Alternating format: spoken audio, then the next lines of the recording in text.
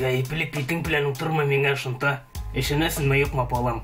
Нет, вам не показалось. Теперь Джеки Чан свободно владеет сибирско-татарским. Рузиль с детства хотел быть похожим на него, подражал и даже рисовал его портреты. И мечта стала ближе. Месяц кропотливой работы и любимый фильм «Пьяный мастер» практически переведен и озвучен. Сыккусный куската көрсін. Проблем захотел ма?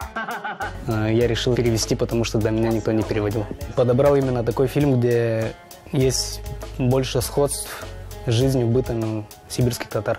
Сейчас Рузиль вернулся из армии, успешно продолжает учебу в колледже и подрабатывает, а все свое свободное время посвящает любимому делу.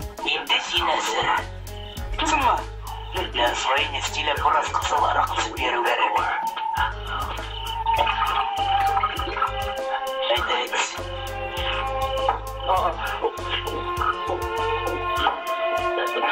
По задумке автора, действия разворачиваются в одной из татарских деревень, а герои носят татарские имена.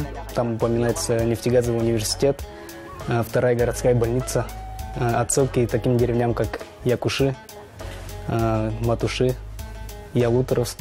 Отца Джигичана зовут Тимурцев, также есть у него дядя Аскат, а, Кальяпа, потом... э, Ну и главный герой это, конечно, сам Джеки Чан, ну, Чака Чан, и его учитель Сайт Раим Бабай. Интересен фильм и с точки зрения языка. В нем собраны практически все говоры сибирских татар. Немало в диалогах героев и местных пословиц и поговорок. В том, что и другие герои популярных фильмов заговорят по-татарски, автор не уверен, хотя не исключает такой возможности. Посмотреть фильм «Мессерик Мастер» в соцсетях сейчас не получится, но Рузель обещает что-нибудь придумать.